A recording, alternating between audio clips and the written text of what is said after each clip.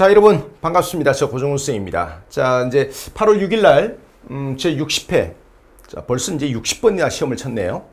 자 60회 이제 한능검 시험이 치러졌습니다.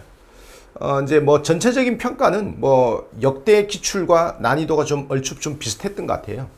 자 비슷했는데 좀 실제로 좀 그 자세히 들여다보면 어, 뭐 기출이 끊임없이 반복된다라고 하는 그 큰 틀은 바뀌지 않지만 어, 조금 이제 자 역대 시험하고 조금 다른 것 같아요. 음, 제가 그 말씀 좀 먼저 좀 드리고요. 자 한번 보실게요. 음, 그 여기서 이제 고대사라고 하는 게 이제 통일신라하고 발해까지죠. 자 여기는 이제 1번부터 9번까지 아주 정석대로. 자 요거는 이제 그 뭐 58회, 59회, 60회, 뭐 심지어 57회, 55회 다 똑같습니다 비중이. 자, 비중이 다 똑같고 그 다음에 이제 뭐 여기는 뭐 또 특별히 어려운 문제가 나온 것도 없어요. 자 그 다음에 음, 고려시대. 자 역시 이제 고려시대도 뭐 8문제 아니면 9문제 뭐 이렇게 나오죠. 그래서 이제 요거는 요 요렇게 9문제 9문제 나온 것은 음, 저번 그 58회 59회하고 뭐 대동소이합니다. 근데 이제 이번에 자 갔더니까 이제 이 조선 시대가 원래 한 10문제 이상 나오거든요. 10문제, 11문제 나오는데 이번에 7문제가 나왔습니다. 이제 조선 시대가 적게 나온 이유는 뭘까요? 이제 자, 요렇게 이제 기타로 넘어간 보통 이제 기타에서 한 두 문제 나오거든요. 두 문제, 많이 나오면 세 문제 나오는데 이번에 기타로 분류할 만한 문제가 일곱 문제가 나왔어요. 그래서 이제 자, 요게 아마 조선 시대가 좀 적게 나온 것은 어 이제 분류를 이렇게 기타로 할 만한 문제가 어, 있었기 때문이죠. 그 다음에 이제 근대사는 어 이제 요 개화기를 말하는 거죠. 자, 요거는 이제 여섯 문제인데 자, 평상시보다 요것도 이제 한 문제 정도 좀 적게 나왔다. 이렇게 볼 수가 있겠습니다. 음, 그 다음 이제 독립운동사도 평소보다 일제강점기를 말하는 거죠. 여기도 평소 평상시보다 한 문제나 두 문제 좀 덜 나온 것 같습니다. 그 다음에 이제 현대사를 보면 또 이번에 왕창 나왔어요. 일곱 문제가 나왔습니다. 보통 현대사는 네 문제 또는 다섯 문제를 지금까지 내는 게 일반적이었는데 59회를 좀 보니까 이제 현대사 문제가 좀 늘어났더라고요. 근데 이번에 60회를 봤더니까 현대사가 왕창 늘어났습니다. 그러니까 여러분들 중에서 어 뭐 현대사를 그냥 저 뒷부분이다 보니까 이제 현대사를 좀 건너뛴 사람들은 이 한능검에 이 고득점이 어려웠을 거예요. 이 80점 넘기기도 쉽지 않았을 거예요. 현대사를 아예 포기하고 간 사람들은 80점 넘기가 거의 불가능했을 것 같아요. 그런 점이 좀 있는 것 같고요. 그다음에 이제 유난히 그러니까 이제 조선 시대하고 조선 시대가 좀 평소보다 좀 적게 나온 것 같고 그다음에 이제 여기는 근대사나 독립운동사도 한 문제 정도 좀 덜 나온 것 같고 그 다음에 대신에 현대사가 좀 많이 나온 것 같아요. 현대사가 평상시보다 두 문제 또는 세 문제 정도 더 나왔다. 자, 그 다음에 이제 그리고 기타 주제로 분류할 만한 것이 이번에는 좀 많이 나왔다. 평상시 같으면 보통 두 문제 아니면 세 문제인데 이번에는 일곱 문제가 나왔습니다. 자, 기타 문제 한번 확인 한번 해볼까요? 자, 기타 문제는요. 음, 요렇게 이제 제가 이제 기타로 분류하는 것이 뭐 역사 속의 지명, 뭐 궁궐, 자, 문해, 유네스코 문화유산 기록유산, 세시풍속. 그 다음 이제 그리고 어 이제 통사죠. 여러 역사에 걸쳐서 이렇게 이제 통사로 묶어 묶인 주제들 있죠. 그런 것들은 어 제가 이제 기타 주제로 분류를 하는데 어 이제 이번에는 이렇게 이제 통사로 어 이제 분류할 만한 것들이 세 문제. 그다음에 이 전주는 저번에 나왔는데 이번에 또 나왔네요. 또 나왔습니다. 제가 이제 스피드 퀴즈에도 이번에 전주를 냈죠. 그다음에 이제 역사 속의 지명이 이번에는 두 문제가 나오고 또 저번에 안 나왔던 세시풍속이 이번에 또 나왔어요. 세시풍속 문제가 뭐 그냥 그냥 글만 읽으면 맞을 수 있는 문제 7석, 7월 7석 그냥 뭐 그 눈만 뜨고 있으면 맞을 수 있는 문제라서 어 사실 요거는 뭐 변별력이 없다 이렇게 봐야 되고 되겠고 요 경복궁 내 문제도 쉬웠어요. 굉장히 쉬웠습니다. 자 그렇게 해서 이렇게 기타 주제로 분류할 만한 문제가 일곱 문제가 있었다. 자, 그 다음에, 음, 제가 보는 관점에서는, 음, 58회나 59회하고, 뭐, 그닥, 뭐, 특별히 더 쉽거나, 특별히 더 어렵거나 그러진 않았어요. 그런데, 어, 이제 여러분들이 혹시라도 공부 깊이가 조금 부족하신 분들은 틀릴 만한 문제가 저는 요 세 문제라고 봤습니다. 자, 요 세 문제라고 봤는데 그 이번에 보니까 뭐 90점 이상 뭐 그다음 이제 심지어 뭐 100점 퍼펙트하게 맞았다는 사람도 수두룩 하더라고요. 자, 여러분 이 정도 난이도면 어떠냐면은 수능 한국사보단 훨씬 어렵습니다. 수능 한국사는 뭐 국적 테스트죠. 한국인인지 중국인인지 뭐 일본인인지 그걸 테스트하는 시험이라고 보시면 되고요. 그다음에 이제 비교할 수 있는 게 이제 공무원 시험 한국사, 구구, 국가직 지방직.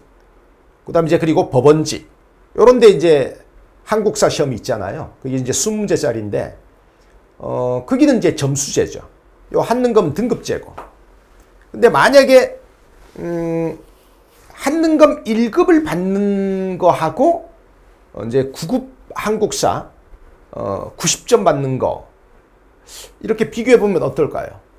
음, 아마 9급 한국사를 어, 90점 이상 받는 게 더 어려울 거예요. 더 어려울 거고요. 그 다음에 이제 그게 아니라 이 한능검을 그냥 90점 이상 초고득점, 90점 이상을 이제 고득점이라고 한다면 한능검 90점 이상 맞는 거하고 구급 국가직 지방직을 90점 맞는 거하고 비교해 보면 얼추 비슷하거나 어쩌면 한능검 90점 이상 맞는 게 더 어려울 수도 있을 거예요. 어, 지금 이제 국가직 지방직 그 구급 한국사가 좀 워낙 쉽게 나오고 있기 때문에 그렇습니다. 스타일은 좀 비슷해요. 한능검 스타일은 그대로 유지가 되는 반면에 이 공무원 시험 한국사가 점점 한능검 스타일로 많이 바뀌고 있죠. 그래서 지금은 뭐 스타일이나 그 문제 성격 이런 걸 보면 난이도도 그렇고 얼추 비슷합니다. 어 이제 얼추 비슷합니다. 음, 자 그렇게 보시면 되겠고요. 자 먼저 이제 여러분들이 어려워했을 법한 문제 세 문제 한번 음, 뭐 제가 이제 주관적으로 뽑은 것이라 뭐 이렇게 그 정답 채점 서비스를 한 것은 아니고요. 주관적으로 뽑은 것이라 제가 한번 보여드릴게요. 26번 먼저 한번 펴보세요. 26번, 27번 먼저 보시면 26번은 어, 요게 저번에 한번 나왔어요. 전주가. 음, 여러분들이 뭐 전주 사람들이 아니면 솔직히 뭐 전동성당 알겠습니까? 뭐 동고산성 알겠습니까? 그런데 전주 사람이 아니어도 어, 알 수 있는 힌트가 있죠. 뭐냐? 후백제의 흔적 하나. 그 다음에 전라가명 힌트 둘. 이 정도는 이 정도는 여러분들이 뽑아줄 수 있죠. 요거 뭡니까? 음, 전라도 가명이 있던 전주입니다. 이건 사실 이 정도는 아실 거예요. 여기서 아마 전주 뽑아줬을 거예요. 전주 뽑아줬는데 이 전주에 그 경기전이라고 하는 게 있습니다. 음, 태조 이성계의 태조 이성계가 전주이시 아닙니까? 그래서 이제 그 전주에 가보면 이제 경기전이라고 하는 곳이 있고 여기서 이제 태조 이성계의 어진을 모시고 있는 곳인데 그 경기전하고 어, 그 다음에 이제 전주를 연결시키는 게 그 지역 사람들이 아니면 어, 살짝 좀 생소할 수도 있겠다. 평상시에 이제 역사에 대해서 조금 관심 있는 사람들이 아니면 요거 살짝 못 뽑아줄 수도 있었지 않을까. 뭐 그런 생각 좀 듭니다. 자, 그 다음에 27번 갑니다. 음, 27번을 봤더니까, 음, 가는 그 통일신라 신문학 때 설치한 그 국학입니다. 국학이고요. 그 다음에 이제 나는 그 칠제라고 하는 거죠. 칠제. 어, 칠제와 양영고 하면 이제 고려의 국자감이 되겠습니다. 그렇죠? 그 다음에 이제 그리고 다는 자, 입학생은 생원과 진사가 입학을 한다. 성균관이겠죠. 성균관. 조선의 성균관이겠죠. 그 다음 이제 라는 좌원과 우원을 두었는데 이건 이제 유경공원이 되겠습니다. 자 여기서 뭐 가에서 통일신라의 국학 자 나에서 국자감 그 다음에 다에서 성균관 라에서 유경공원 시대별로 대표적인 관립교육기관이죠. 그거 다 뽑아줬다고 합시다. 그거 다 뽑아줘도 정답 찾기가 또 함정이 있습니다. 자, 전국의 부목 9년에 하나씩 설립된 건요. 조선의 향교입니다. 조선의 향교입니다. 그 다음에 교육이국 조서를 밤, 그러니까 이 리을이 가장 큰 함정이죠. 교육기국 조서라고 하는 것은 제2차 가보기역입니다. 유경공원은요. 1886년에 설립돼 갖고 가보기역이 시작될 무렵에 이 유경공원은 문을 닫았습니다. 이런 점을 생각한다면 27번 문제 그렇게 쉬운 문제 같지는 않아요. 수험생들이 음, 평상시에 이제 뭐 좀 꼼꼼하게 공부하신 분들 또 이제 문제 풀면서 또 좀 쎄뻑이 있으신 분들은 뭐 27번 맞을 수도 있죠. 근데 27번 문제 객관적으로 이 문제는 그렇게 쉬운 문제는 아닙니다. 알겠죠? 그래서 이제 제가 보는 관점에서는 27번은 살짝 좀 어려웠다. 자, 그 다음에 음, 49번 갑니다. 49번 가보, 가보면 요거는 이제 우리 역사 속에 등장했던 그 역사석의 여성 인물들 이 사람들을 이제 묻고 있습니다. 그래서 이제 뭐 동그라미 1번 선덕여왕과 첨성대 황룡사 구층 목탑 자 이거는 뭐 저, 워낙 맞는 말이니까 정답에서 제껴야죠. 그 다음에 이제 나를 봤더니까 이빙허각이라고 하는 사람이 나오는데 이거 옵디용 처음 들어보는 사람이죠. 규합 총서 이것도 처음 듣는 책이죠. 이걸 원래 알고 있었으면 이 사람 내가 봤을 때는 그럴 리가 없죠. 동그라미 2번은 뭡니까? 쳐놔야 되겠죠. 다의 김만덕? 어? 이거 옛날에 드라마에서 얼핏 본 것 같은데? 뭐 또 잘 모를 수도 있죠. 자, 그 다음에 자 여기는요. 여성 독립운동가 남자연하고 강주령을 올려놨습니다. 이 남자연하고 광, 강주령 같은 경우에는요. 물론 우리 한능검 그 전에 나온 적이 있습니다.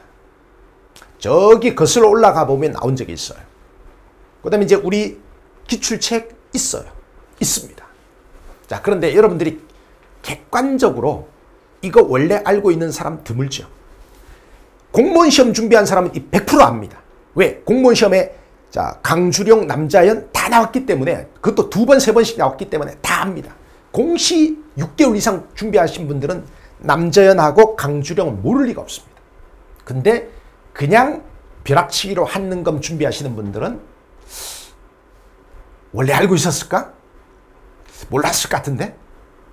자, 여러분, 어, 뭐 강주령은 이제 을밀대에서 음, 그 지붕 농성을 한 소위 이제 그 일제강점기의 그 여성 노동운동가이자 독립운동가, 그러니까 여성운동가 맞습니다. 음, 자, 그 다음 이제 그 남자연은요. 그 남자연이 이제 우리 영화 암살인가에 보면 이제 전지현 그 역할을 하는 사람이 어 이제 당시에 이제 그 시나리오를 쓴 사람이 이제 남자연 우리 독립운동가 여성 독립운동가 남자연을 염두에 두고 그 전지현 역을 썼다고 하는 이야기가 있죠. 남자연 대단하신 분입니다. 어, 자기 무명지를 끊어서 단지를 한 거죠. 단지를. 어, 1932년에 이제 만주사변 직후에 그 리튼 조사단이 국제연맹의 리튼 조사단이 어, 이제 하얼빈에 와서 이제 만주사변의 경위를 조사하러 왔거든요. 음, 그때 이제 자, 이 남자연이 자신의 무명지를 단지 끊어갖고 그 무명지하고 그 다음에 이제 혈서 있죠. 한국독립원 한국 독립을 간절히 갈망한다. 이걸 뭡니까? 그 자기 끊어진 그 무명지와 함께 리튼 조사단에 보낸 것으로 어, 알려져 있죠. 자, 그리고 이제 남자연 우리 그 이 독립운동가 이분은요. 1933년에 돌아가셨습니다. 그러니까 이제 한국 강복군 기관지인 광복을 발행했을 리가 없죠. 그 지하에서 이제 그런 활동을 할 수는 없잖아요. 돌아가셨는데 어떻게 활동을 해? 사실 이제 49번 문제는 좀 어렵죠. 굳이 따지자면 제가 봤을 때는 이 세 문제를 제가 올려놨지만 진짜 좀, 야, 이건 좀 어렵다 싶은 문제는 27번과 49번 이 두 문제입니다. 알겠죠? 그래서 이제 요 두 문제는, 음, 자, 요거는 이제 사실은 좀 어려운 문제다. 요걸 원래 알고 맞은 사람들은, 어, 좀 드물 거고, 그 다음에 이제 뭐 찍어서 맞은 사람들은 있겠죠. 어, 찍어서 맞은 사람도 있겠죠. 자, 그러면 이제 제가, 음, 빠르게, 자, 빠른 속도로 이제 여러분들하고, 어, 이제 문제 하나씩 좀 볼게요. 자, 보, 볼 텐데, 뭐, 아주 전형적인 문제, 뭐, 지금까지 계속 나왔던 문제가 계속 반복되기 때문에, 어, 뭐, 설명은 좀 짧고 굵게 갑니다. 자, 1번 갑니다. 고인돌이죠? 뭐, 쉽게 청동기 시대를 묻는 거죠. 어, 패스. 자, 2번 갑니다. 연고 나오죠? 숭하강 유역 나옵니다. 형사치수원 나옵니다. 자, 쉽게 부여 딱 골라주고 정답 사출도 딱 나옵니다. 자, 문제 푸는데 몇 분? 자, 10초. 그렇죠? 그 다음에 3번 갑니다. 수로왕이 건국했다. 딱 나옵니다. 김해 양동리 고분. 자, 안 봐도 비디오죠. 금강가야 되겠습니다. 1, 2, 3, 4, 5번 중에서 금강가야 고르시면 자, 버풍왕 때 532년 버풍왕 때 신라에 복속되었다. 금방 나옵니다. 자, 여기까지는 다 5초, 10초 컷이야. 4번 문제 한번 볼까요? 4번 문제는 지금 뭐죠? 음, 소정방이 이제 백제를 멸망시킨 당나라 장수잖아요. 그러니까 자, 백제 멸망 이후의 상황을 1, 2, 3, 4, 5번에서 고르라는 거예요.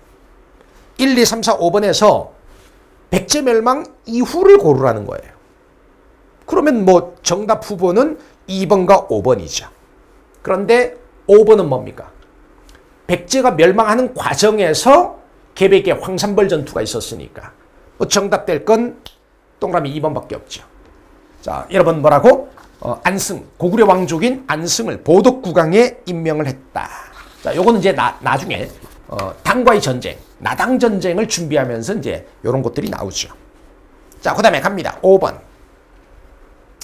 자, 5번을 봤더니까 뭐 연도가 자, 지금 어떻습니까? 음, 북위의 사신을 파견한다. 그다음 이제 신라의 실직주성을 빼앗는다. 자, 그런데 고구려 왕 중에서 이렇게 뭐 60년, 63년 이렇게 살았던 왕이 뭐 장수왕밖에 더 있나요? 그렇죠? 장수왕밖에 없습니다. 그래서 뭐 이것도 뭐 여러분들이 어, 금방 또 정답 고를 수 있죠. 자, 아직까지는 뭐 대부분 10초, 20초 컷입니다. 그 다음에 6번. 뭐 발에 고르라는 소리죠. 패스. 자, 그 다음에 7번 갑니다. 부석사. 자, 부석사라고 하는 사찰을 건립한 사람이 누구죠? 의상대사죠. 그러니까 1, 2, 3, 4, 5번 중에서 의상대사 고르라는 거죠. 뭐 이것도 쉽게 정답이 화밀승 먹게도 딱 떨어집니다. 뭐 거의 지금 다 10초, 15초 컷이라고 봐야 되겠죠. 그 다음에 갑니다. 8번. 음, 자, 이 사람은 뭐 맨날 시험에 나오는 통일신라 임금하면 맨날 시험에 나오는 사람이 신문왕 아니던가요? 뭐 신문왕 고로라는 소리죠. 자, 어떻습니까? 기출문제 계속 반복되는 거 아니에요? 나왔던 문제, 나왔던 임금 계속 반복되고 있잖아요. 자, 그 다음에 이제 9번 가볼까요? 음, 태봉 나왔습니다. 철원 나왔어요. 자, 이 사람은 궁예겠죠. 안 봐도 비디오입니다. 후고구려. 자, 나중에 태봉의 군주. 자, 궁예가 되겠습니다. 그래서 1, 2, 3, 4, 5번 중에서 궁예고로란 소리죠? 자, 궁예고로란 소리입니다. 광평성. 자, 광평성을 비롯한 각종 정치기구를 마련했다. 맞습니다. 자, 그 다음 이제 10번 가보면, 자, 어떻습니까? 어, 요건 이제 그 고려 초기에 그 철불고로란 소리죠?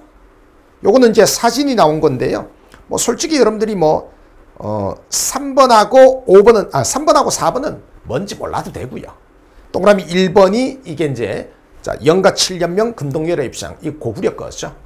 그 다음에 이제 동그라미 2번이 고철불이고요. 그 다음에 이제 동그라미 5번이 이제 그 반가 사유상, 삼국시대에 여러 점이 발견되고 있는 자, 금동미륵 보살 반가사유상이 되겠습니다. 자, 그렇게 봐두시면 되고요. 자, 그 다음에 갑니다. 11번 한번 보실까요? 어떻습니까? 그래도 이거는 그래도 뭐 여러분들이 어느 정도 공부를 했으면 순서 나열이 되죠. 고려 전기, 고려 후기, 초기와 중기. 그 다음에 이제 무신직공기, 원간섭기, 고려 말기. 이 정도만 구별하면 문제 풀게 돼 있죠. 나가 아 가가 뭡니까? 이자 겸 측중경 나오니까 고려 중기. 12세기 자 초가 되겠습니다. 나는 뭡니까? 최무선 나오니까 진포대첩 나오니까 이거 고려 말의 우왕 때죠. 우왕 때 외구 격태가 되겠습니다. 그다음 이제 다는 뭡니까? 음, 자 몽골군의 5차 침입이 되겠습니다. 자, 몽골군의 5차 침입 당시에 이제 충주성 전투 말하는 거죠. 쉽게 여러분들이 어, 뭐 순서 나열이 가능하고요. 그다음 이제 12번 갑니다. 자, 요거는 이제 그 윤간이라고 하는 인물의 일생을 가지고 이제 고려 관제를 어, 고려 중앙정치기구를 어 이제 그 고르는 그런 문제가 되겠습니다. 그래서 이제 어 여러분들이 뭐 특별히 어렵지 않게 어 고를 수가 있습니다. 어사대밖에 맞는 게 없죠. 자 그렇게 봐두시면 되겠고요. 자 넘어갑니다. 아직까지는 아직까지는 특별히 어려운 문제가 없죠. 자 보자마자 거의 대부분 10초, 15초 안에 답이 딱딱 떨어지는 그런 문제가 되겠습니다. 음, 자, 그 다음에 이제 갑니다. 13번을 봤더니까 요거는 이제 그 이암의 농상집이요. 어, 그러니까, 어, 고려 후기 경제 상황, 고려 시대의 경제 상황을 고르라는 거죠. 뭐, 요런 문제 뭐 맨날 이렇게 나오잖아요. 그래서 이제 고려 시대 경제 상황을 고르라는 문제니까 뭐 쉽게 동그라미 5번이 정답이 되겠죠. 자, 뭐 참고적으로 말씀드리면 동그라미 1번, 동그라미 2번, 동그라미 3번, 동그라미 4번, 1, 2, 3, 4번이 모두 조선 후기입니다. 모두 조선 후기가 되겠습니다. 알겠죠? 이 초량 외관이라고 하는 것도요. 어 이제 그 조선 후기에 원래 이제 그 두목포라고 하는 곳에 광해군 때는 두목포라고 하는 곳에 외관을 두었는데 이게 나중에 숙종 때 이제 초량 외관으로 옮겨진 겁니다. 알겠죠? 자, 그 다음 이제 갑니다. 14번을 보시면 요건 뭐죠? 자, 요거는 그 강조의 정변이죠. 강조의 정변이고요. 앞에는 그 다음 뒤에는 이제 강감찬이 기주대첩에서 어 이제 거란군을 크게 격퇴한 얘기죠. 그러니까 요 사이에 들어가는 게 뭐, 뭡니까? 강조의 정변을 문제 삼아서 거란이 자, 여러분 우리 고려를 쳐들어와 갖고 당시 이제 우리 고려가 뭡니까? 어, 수도인 개경까지 함락되고 저기 나주까지 이제 피난길에 올랐던 이야기 기억나시죠? 거란의 2차 침입이 여기에 들어가야 됩니다. 뭐 이것도 뭐 쉽게 정답 고를 수 있죠. 자, 그 다음에 자 지금 아직까지도 지금 여기 고려 시대가 지금 계속되고 있습니다. 그 다음 이제 15번은 지금 뭡니까? 최후가 나오죠, 최후. 그렇죠? 최후가 나옵니다. 그러면 요 이후에 있었던 걸 고르라는 거예요. 안 봐도 비디오죠. 자, 이 최후 때 있었던 거니까 최후 뒤에 있는 일은 삼별초의 항쟁밖에 없어요. 나머지는요. 요 15번 같은 문제 참 좋은 문제, 문제 참 잘 낸 건데 너무 어렵지도 않고 너무 쉽지도 않고 이 문제 참 잘 낸 거거든요. 이게 삼별초의 항쟁만 저 뒤에 들어가는 거죠. 삼별초의 항쟁이 언제입니까? 최씨 정권이 완전히 무너진 뒤에 개경 환도를 결정하자 어 이제 그 삼별초가 이제 자 뭡니까 그 독자적인 반몽 정권을 수립하고 이제 항전 항전한 거죠. 됐습니까? 그렇게 봐두시면 되겠고요. 자, 그다음 이제 그리고 16번을 보시면 그래도 이거는 수준이 좀 있네. 가는 전식과를 묻는 거고요. 전식과 중에서도 문종 때 그 경정전식과를 묻는 겁니다. 그 다음 이제 나는 요거는 이제 공양왕 3년. 이게 고려 마지막 임금이죠. 이거 과전법 묻는 겁니다. 과전법. 그렇죠? 자, 그래서 가는 경정전식과 나는 과전법. 요걸 묻는 거예요. 그래서 이제 여기서 정답될 건 뭡니까? 정답될 건 4번밖에 없어요. 그렇죠? 16번 문제도 진짜 문제 좋아요. 자, 요즘에는요, 어, 한는거 문제가, 문제 퀄리티가 진짜 좋은 것 같아요. 이렇게 문제 참 잘 냈죠. 깔끔하게. 그러면서도 문제, 너무 어렵지 않게 문제의 핵심을 정확하게 이제 짚어서 묻고 있잖아요. 자, 그 다음에 갑니다. 자, 17번은 뭐 말 그대로 최승로를 고르라는 거죠. 요건 뭐 거의 5초, 10초 것이 되겠습니다. 최승로의 힘의 18조. 맞죠? 자, 그 다음에 갑니다. 18번. 요게 이제 고려 마지막 문제인데요. 음, 자, 어떻습니까? 가는 지금 뭐예요? 그, 이 조유와 탁청이, 어, 이제, 오늘날에, 그, 당시 이제 화주 일대를, 동분명 병마사를 죽이고 이제 화주 일대를, 어, 원에 갖다 바쳤습니다. 몽골에 갖다 바쳤습니다.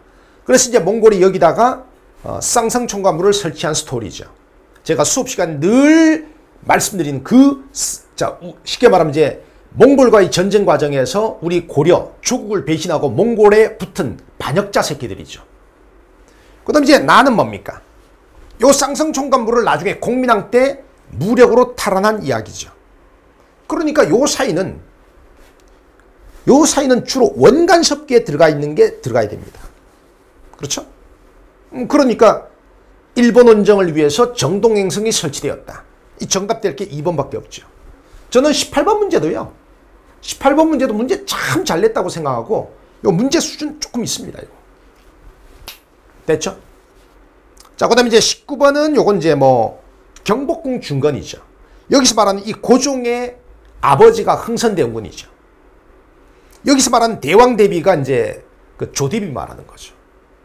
자, 쉽게 말하면 흥선대원군 집권기에 경복궁을 중건한다는 이야기입니다. 자, 여러분 경복궁의 정전이 근정전이고 국왕의 집무실 역할을 하는 게 사정전이고 그 다음에 임금의 뭡니까? 침전 역할을 한 게 강령, 강령전이고 이런 얘기 들어봤죠? 들어보셨을 거예요. 자 그래서 이제 19번은 기타 주제 문제치고는 조금 쉬운 문제 같아요. 자, 그 다음 이제 20번부터 이제 조선시대인데요. 자, 20번 문제를 봤더니까 요거는, 어, 국조오래의 같아요. 국조오래의. 여러분들이 앞에 세종대왕께서 그것만 보시고 문제 답치면 안 돼요. 문제 끝까지 읽어보셔야 됩니다. 한능검은요. 시간이 부족하진 않잖아요. 문제 끝까지 보셔야 돼요. 마지막 두 줄을 보면 얘는 국조오래의입니다. 국조오래의. 알겠죠? 자, 그러니까 성종 때를 고르란 소리죠. 뭐겠습니까? 경국대전 완성밖에 정답될 게 있겠습니까? 아직까지는 자 지금까지 그러면 20문제를 했는데 20문제 중에서 아, 그나마 어려운 문제 있을까요? 어 그나마 어려운 문제 저는 딱 한 문제 꼽는다 그러면 18번 같아요. 자 1번부터 20번까지 우리가 40%를 봤는데 어 진짜 다 뭐 10초 20초 컷이고요. 그나마 야, 요거 한 30초는 들여다봐야 된다. 요게 이제 18번 문제입니다. 알겠죠? 그 다음에 21번. 요거 뭐죠? 음, 이거는 뭐 우부승지하고 도승지 나오니까 뭐 승정원이겠죠, 승정원. 국왕의 비석이고 승정원 되겠습니다. 뭐 이것도 10초 컷이 되겠습니다. 자, 그 다음에 22번. 22번 문제도요. 이렇게 이제 역사 속의 지명, 음, 이제, 자, 한강을 따라서 이제 그 역사 속의 어떤 사건들을 만나는 것인데요. 이거는 제가 봤을 때는 여러분들이 뭐 아주 어려워하지 않, 않지 않을까? 그 후군과의 전쟁, 정묘호란이죠. 그 정묘호란 때 용골산성, 그 용골산성이라고 하는 게 지금 평안도잖아요, 평안도. 용골산성에서 의병을 일으킨 사람이 바로 정봉수 아닙니까? 그러니까 행주산성하고 용골산성하고 다른 지명이죠. 행주산성은 우리가 알고 있는 거 임진왜란 때 뭡니까? 권율, 광주 목사 권율이 주도하는 그 행주대첩밖에 없습니다. 후군과의 전쟁이 아니라 임진왜란이죠. 요거는요. 요거는 그래도 22번은 그래도 읽어보면 틀린 건 금방 잡을 수 있습니다. 됐죠? 자, 그 다음에 이제 23번은 요건 뭐 도산서당. 뭐 이거 뭐 딱 보면, 음, 이황 선생이죠. 성악 10도. 자, 그 다음에 이제 도산서당. 이황 선생이 되겠습니다. 뭐 쉽게 정답이 나오죠. 기대승과 사당, 사단 칠정에 관한 논쟁을 벌였다. 그렇죠? 그 다음에 24번은 요 사람은 누굽니까? 마가의 통 나오죠? 강진으로 유배를 갔다. 목민심서. 뭐 정약용 그대로 튀어나오죠. 자, 1, 2, 3, 4, 5번 중에서 정약용의 저수는 경세유표밖에 없습니다. 그렇죠? 음, 여러분들이 뭐 잘 하시는 거고요. 25번 갑니다. 25번을 봤더니 이게 뭐 같아요? 신립장군이 나오죠. 신립장군. 뭐 임진왜란이죠. 뭐. 그렇죠? 임진왜란이 되겠습니다. 1, 2, 3, 4, 5번 중에서 임진왜란과 관련된 걸 고르라는 거예요. 뭐 곽지우, 의병장 곽지우. 이게 정답돼야 되겠죠. 됐습니까? 자, 그렇게 봐주시면 되겠고. 그 26번은 아까 제가 그 여러분들한테 이제 말씀 좀 드렸습니다. 26번은 저는 뭐 어, 전주 사람들이 아니면 조금 생소했을 수도 있겠다. 알겠죠? 그 다음에 이제 그리고 그 27번도 아까 제가 말씀 좀 드렸습니다. 27번은 그렇게 쉬운 문제는 아니에요, 진짜. 좀 쉬, 그 이제 공부를 좀 체계적으로 한 사람들한테는 몰라도 뭐 이게 좀 수박 그달기로 공부하신 분들은 요거 쉽지 않습니다. 쉽지 않습니다. 자, 그 다음에 28번은 요건 뭡니까? 음, 담배가 나오니까 이제 조순욱이죠. 1, 2, 3, 4, 5번 중에서 이제 조순욱의 어떤 사회 모습 이런 걸 고르라는 거예요. 요런 문제 반드시 꼭 한능검에 한 문제나 두 문제 반드시 나옵니다. 반드시 나옵니다. 해동통보 주, 전도감 요것만 고려시대고요. 나머지는 한글 소설을 읽어주는 전기수, 시사를 조직하는 역관, 그 다음에 이제 정감록을 읽는 양반, 그 다음에 경강상인의 활동, 전부 조선기에 있었던 게 맞습니다. 그런데, 자, 해동통보, 사만통보, 은병, 요건 고려시대거든요. 그렇죠? 맨날 나오는 겁니다, 이거. 맨날. 50문제 중에 한, 한 문, 한 두 문제는 반드시 나옵니다. 그 다음에 29번. 자, 요거는 뭡니까? 목호룡의 고변. 이거 신임사화죠? 신임사화. 그 다음에 옆에 봤더니까, 어, 이제, 이게 사도세자 이야기잖아요. 그러면 이제 그 오른쪽에 있는 그 임금은 영조입니다. 영조. 자, 여러분 영조 주기 초에 있었던 게 뭐죠? 이인자의 난이죠. 쉽게 정답 4번 나옵니다. 29번 같은 경우에는요. 뭐 진도 나갔으면 누구나가 쉽게 풀 수 있는 문제죠. 그 다음에 이제 30번을 봤더니까 요거는 우정국 총판 홍영식 갑신정변을 묻는 거죠. 갑신정변 이후에 있었던 걸 고르라는 거예요. 그렇죠? 갑신정변의 결과 청과 일본 사이에 텐진 조약이 체결되었다. 뭐 쉽게 정답 나오죠. 됐습니까? 자, 그 다음에 갑니다. 31번. 뭐 요거야 뭐 병인양료 묻는 거 맨날 병인양료하고 신미양료는요. 참 특이하게도 한능검 치면 무조건 한 문제 나옵니다. 자, 요거 병인 양료 묻는 문제니까 쉽게 정답 나오고요. 거의 이것도 뭐 5초, 10초 컷입니다. 32번을 봤더니까 요거는 그 황궁우, 환구단, 뭐 대한제국의 수립이죠. 자, 대한제국의 수립이 되겠습니다. 자, 그런데 다 좋은데 이 동문학이라고 하는 거 있죠. 동문학이라고 하는 건요. 1883년에 설립된 외국어 강습기관이 되겠습니다. 이게 나중에 1886년에 유경공원으로 그 기능이 흡수됩니다. 동문학은 그 자, 개항 직후입니다. 1883년에 설립된 외국어 강습기관이다. 근데 이 정도는 다 아실 거예요, 진짜. 그 다음에 갑니다. 33번 보시면 이건 뭐 안 봐도 비디오죠. 이 화폐 정리 사업도요. 계속 나옵니다. 한능검 거의 뭐 한 두 번 치면 한 번 꼴로 뭐 아주 자주 반복적으로 나오는 게 이 화폐 정리 사업입니다. 뭐 쉽게 여러분들이 거의 뭐 5초, 10초 컷이죠. 자, 그렇게 봐두시면 되겠고요.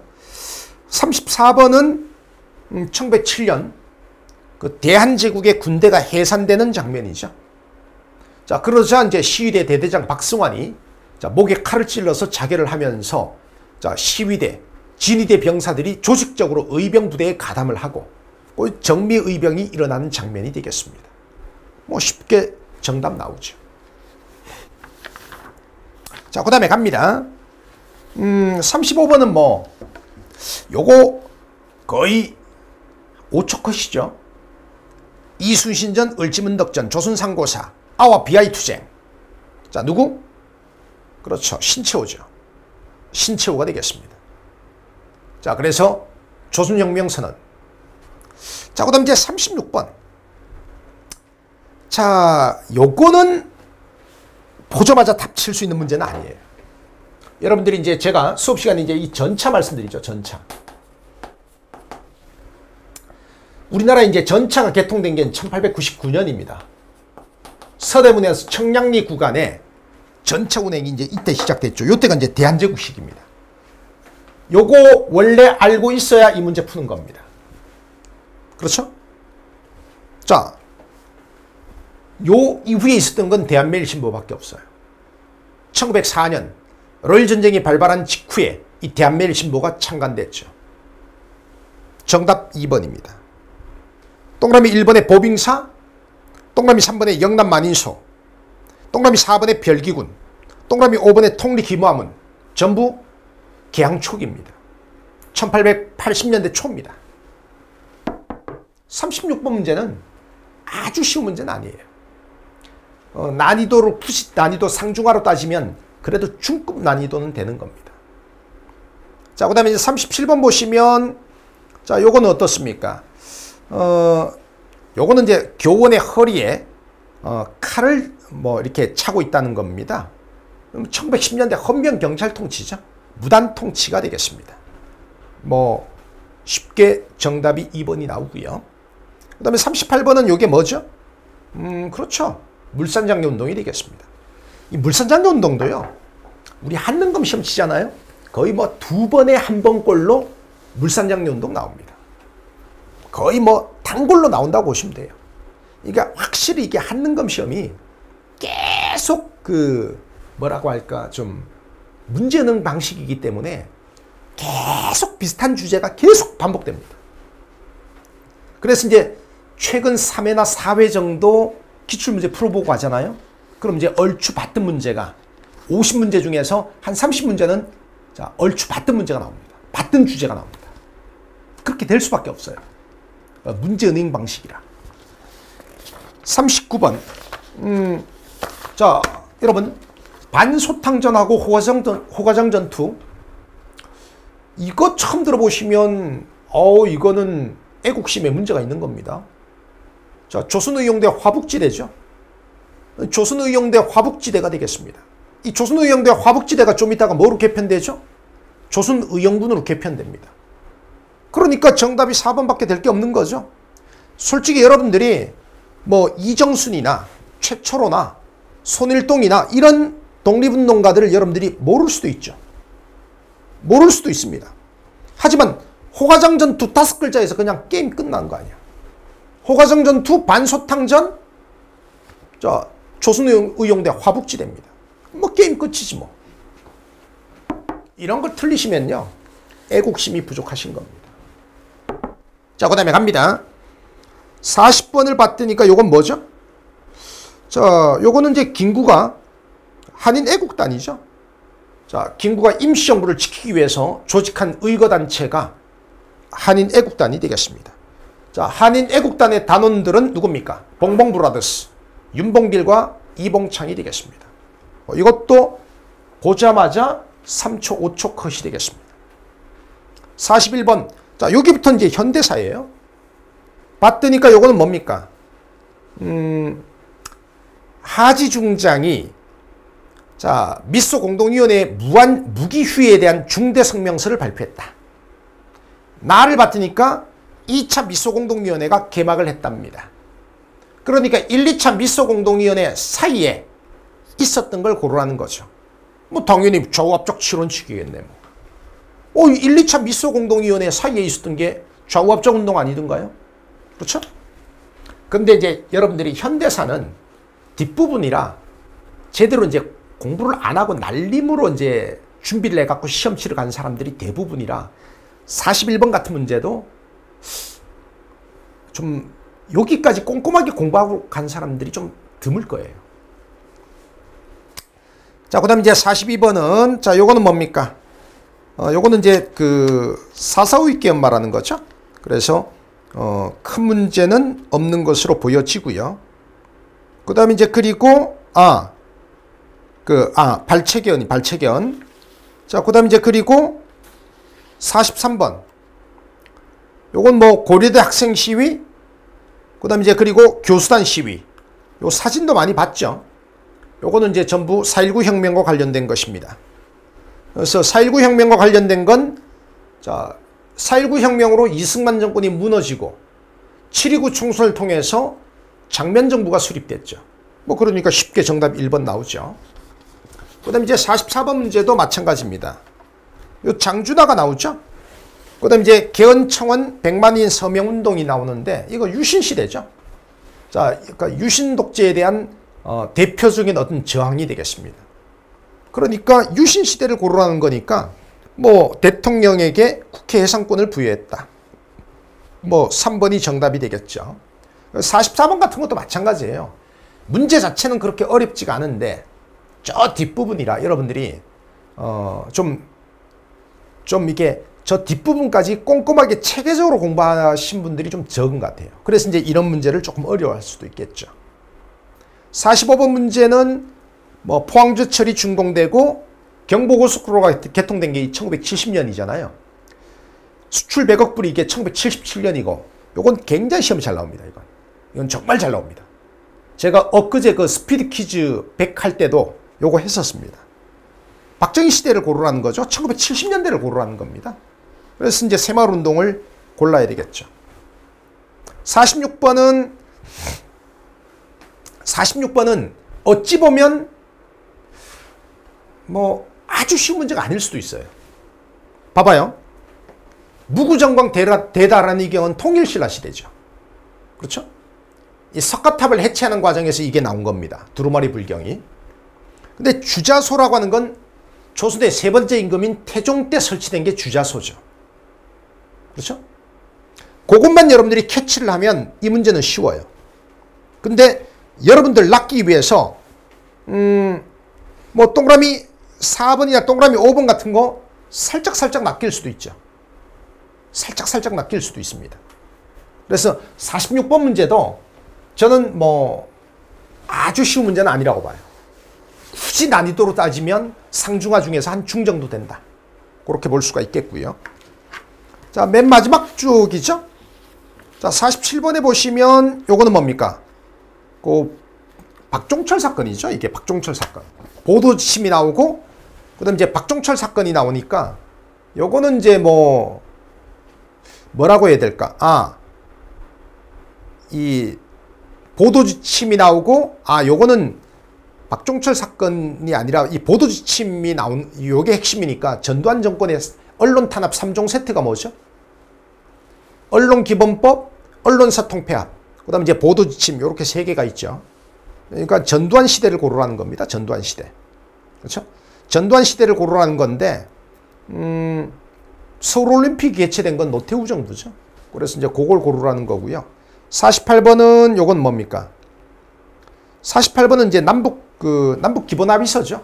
그 남북 기본 합의서니까 이건 이제 노태우 정부를 묻는 겁니다. 자, 노태우 정부를 묻는 거니까 어, 북방 외교 어, 4번이 정답이 돼야 되겠죠. 그다음 이제 49번은 아까 제가 말씀 좀 드렸고 50번 뭐 이건 뭐 거저 줍는 문제고. 자, 그래서 이제 50문제 제가 설명을 좀 드렸습니다만은 음, 제 개인적으로 봤을 때는 야, 요거 문제 난이도 좀 있다 싶은 거는 이렇게 두 문제입니다. 요 49번 문제하고 요 27번 문제. 요 두 문제는 조금 살짝 좀 요건 좀 어렵다. 요거는. 그다음에 이제 그다음에 그럼에도 불구하고 난이도가 살짝 있다 하는 문제는 요거 말고도 아까 제가 뭐 문제 풀면서 좀 말씀드렸지만 한 서너 문제 네다섯 한 서너 문제 정도 더 있습니다. 그래서 이제 결론적으로 말씀드리면 뭐 여러분들이 그냥 1급이나 2급을 따겠다.